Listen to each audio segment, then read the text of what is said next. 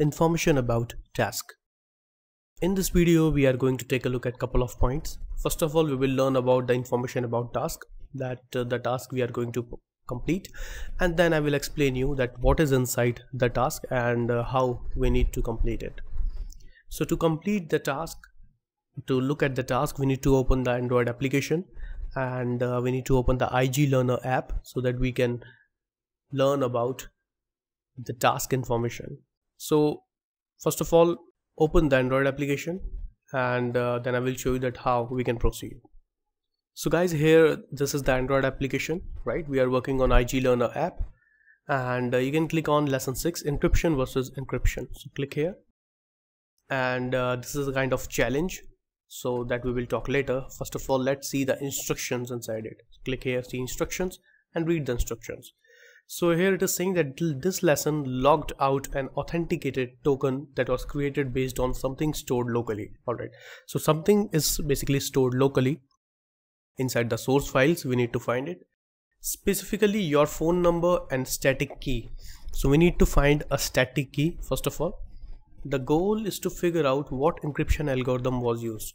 So we need to figure out that uh, what kind of encryption algorithm this Android application is using so how we can get it? Obviously we need to find out the encryption algorithm in source files and locate the key. And also we need to find out what kind of encryption key they have used and then enter an authenticated token for another number in the provided box. Alright so you can see the box.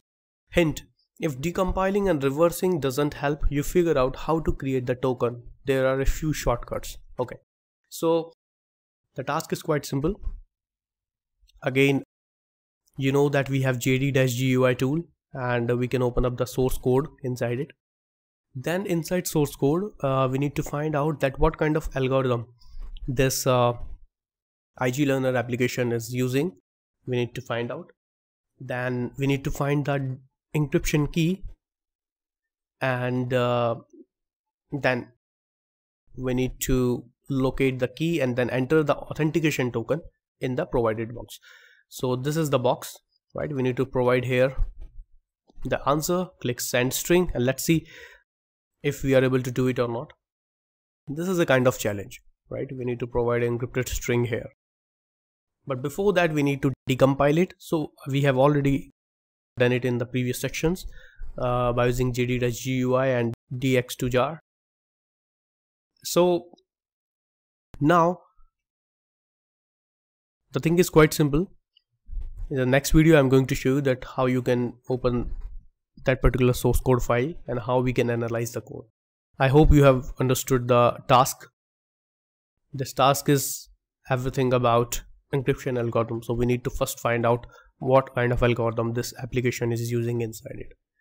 And then we will proceed so uh, this is all about the task information and uh, in the next video I'm going to show you about the analyze how you can analyze the code and how we can find the encryption algorithm. Thank you.